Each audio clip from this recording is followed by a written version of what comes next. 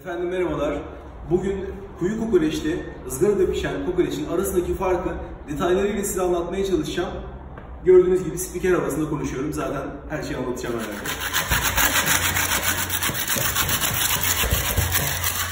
Arkadaşlar şimdi kuyularımızı açacağız. Çok sıcak oluyor. Bir kusurum olabilir şimdiden üzgünüm. Yanıyor olurum. Bazen insanın kapağı açtığı zaman gerçekten yanıyor, çok sıcak oluyor. Beni abi buyur. Açalım yavaş yavaş.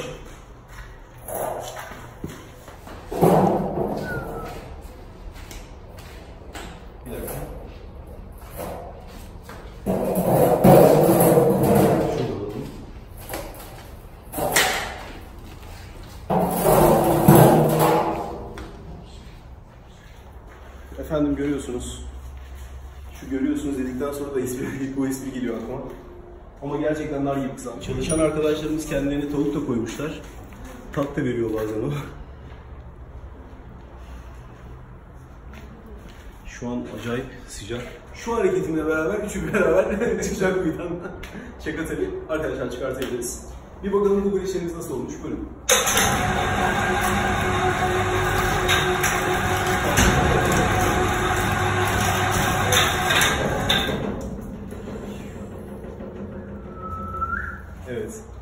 Burada bir hazine yatıyor.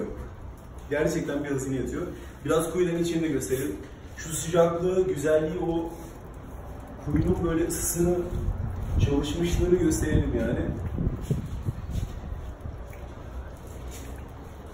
Yumuşacık nefis olmuş ya.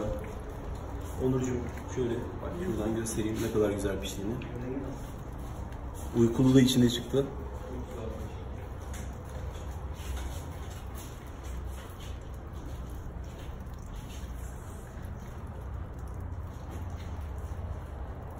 Ya yumuşacık, pamuk gibi ve ağızda eriyor, çiğnemenize gerek kalmıyor. Muazzam lezzetli. Neden bu kadar lezzetli? Çünkü arkadaşlar ateş tuğlaları var içinde. Biz önce odunları, kömürü iyice bir alevlendiriyoruz, iyice köz haline geliyor.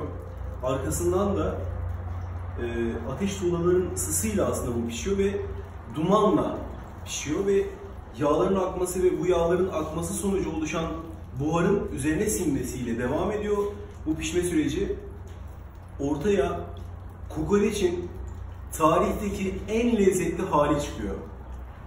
Birazdan da ayrıntılarıyla keserek, yiyerek size göstermeye devam edeceğim.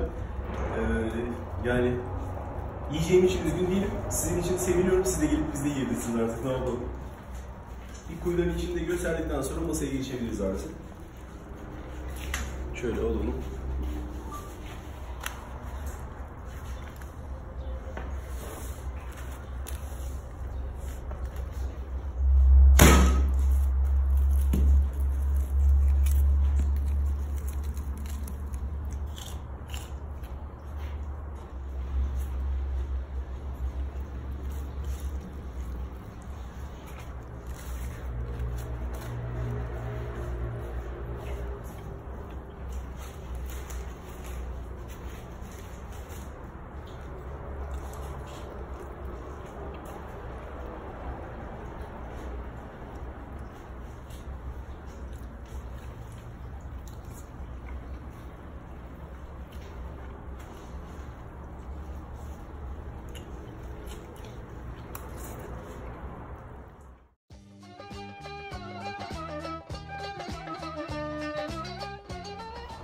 Efendim e, az önce yani kusuruma bakmayın yedim.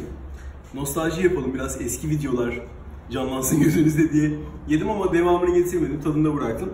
Şimdi biraz da size kuyu kokoreçin neden kuyu kokoreç olması gerektiğini ve aradaki farkı biraz daha detaylarıyla anlatacağım. Şimdi efendim bunun içinde bakın şöyle yarıyorum.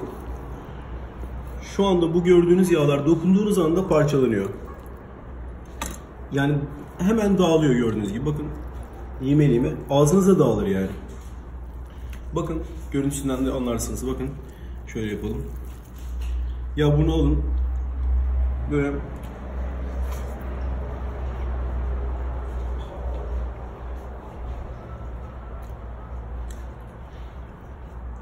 Şimdi anlatmak da gerçekten çok zor. Trakya bölgesinden elde edilen bağırsakları yapıyoruz. İçinde uykuluk mumbar var. Bunları biz zaten meşe kömüründe normalde ızgarada pişirebiliyoruz. Ancak bütün şişleri aynı kıvamda pişirmek ustalık istiyor. Ustalarımız bunu başarıyor ancak yine de aynı miktarda yani hepsi standart bir şekilde pişmeyebiliyor. Gözü gözden kaçıyor, çevirirken unutuyor, yanıyor bir tarafı, bir tarafı az pişiyor. Ama kuyuda şöyle bir şey var. 200 tane şişe, 200 kokoreçi kuyuya, e, ısınmış kuyuya bırakıyoruz. Birkaç saat sonra bir alıyoruz. 200 tane şiş kokoreç hepsi eşit şekilde pişmiş ve tam kıvamında pişmiş oluyor. Ve yani normal kokoreçin kaç katı daha lezzetli ben bir oran vermeyeyim size ama nefis oluyor. Yani kokoreçin en lezzetli hali gerçekten enfes oluyor. Zaten bu kokoreç de bir devrim niteliğinde ve bundan sonra herhalde herkes bunu böyle pişirmek e, pişirmek isteyecektir. Bakın şöyle biraz ne kadar yumuşadığını göstermek için. Bir de ekmek için denedim. Az önce ekmeksiz denedim.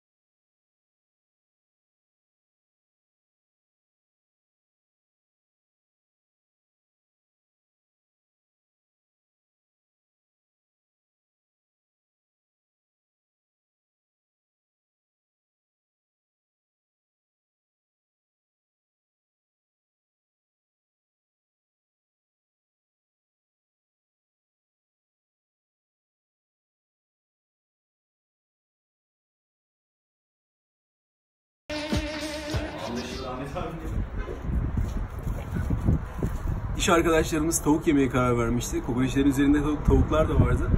Ama görüntülerden sonra kokoreç yemeye karar verdiler. ben de bir deneyecektim ama gerçekten tadına baktım da yani kokoreçten sonra tavuk gitmiyor.